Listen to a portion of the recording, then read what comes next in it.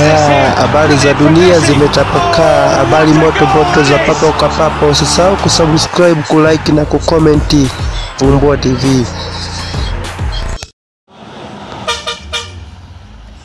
Yes, yes, wanavumbua TV, karibuni sana tena kipindi kingine hiki ambacho tunaangalia gari gari kubwa sana na timu kubwa hapa Tanzania ambayo inaitwa Yanga Sport Club, jinsi ilivyokuwa inaingia katika uwanja wa Taifa, na ni, ni, ni gari ambalo inasemekana kwamba ni gari la gharama kubwa, ambalo gari hilo huwezi kufananisha na timu nyingine hapa Tanzania. Kitu cha kwanza, mimi naitwa Fabric na usisahau kusubscribe, kulike na kucomment. Habari hizi tunazo leo, tulitembelea uwanja wa Taifa huko Yanga ikiwa anacheza na JKT Tanzania wanajeshi hawa.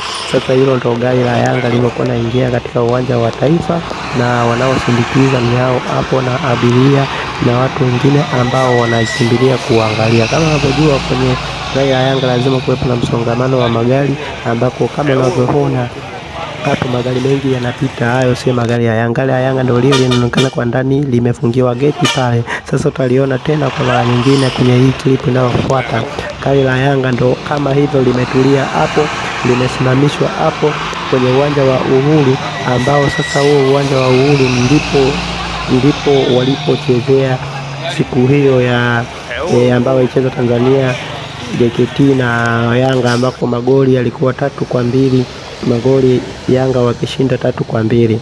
Katika yote kwa yote, sisi kama waandishi wa habari wa Vumbua TV, Fabidigo hapa maarufu kwa jina Fabidigo, nitembelea uwanja huu. Kama mnavyoona kwa mbali hapo, ni uwanja wa Uhuru ambao jinsi ulivyo na watu walivyoingia. Kiingilio cha chini kilikuwa ni elfu tano lakini walichelewa kidogo, au walipima hela kubwa sana ili watu waweze kuingia vizuri.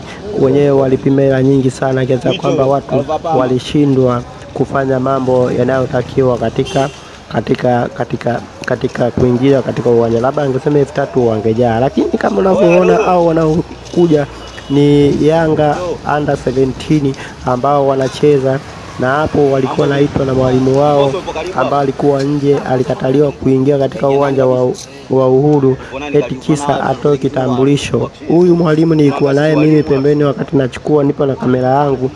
Yeye ni mwalimu, anadai ya kwamba kwa nini hajaingizwa kwenye uwanja, anadaiwa kwamba atoe hela wakati yeye ni mwalimu na waliitwa viongozi wa Yanga. Viongozi wa Yanga walikana kuwafahamu hao walimu ambao wanafundisha under 17 ya Yanga.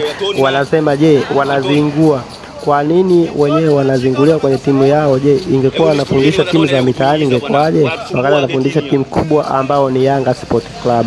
Kama Fabrigo mwandishi wenu nitembelea hizi nitembelea haya mambo, lakini nikagundua ya kwamba kweli kuna viongozi wanadharau, na mimi mwenyewe nilishuhudia kwenye uwanja wa Taifa hapa Temeke kwamba uwanja wa Taifa uwanja wa Taifa ni mzuri, lakini sana kwa viongozi hawa wa Yanga Sport Club walikuwa na dharau kuoneshea walimu wao ambao ni walimu wa timu ya under 17 ya. Katika habari zote hizo, sisi fabdigo mimi fabdigo mtangazaji wenu Usisahau kusubscribe, kulike na kukomenti na kushare hizi habari ili uweze kupata habari zetu zingine tofauti na hizi hapa breaking news tunazokuletea. Asante. Habari za dunia zimetapakaa, habari moto moto za papo kwa papo. Usisahau kusubscribe, kulike na kukomenti Vumbua TV.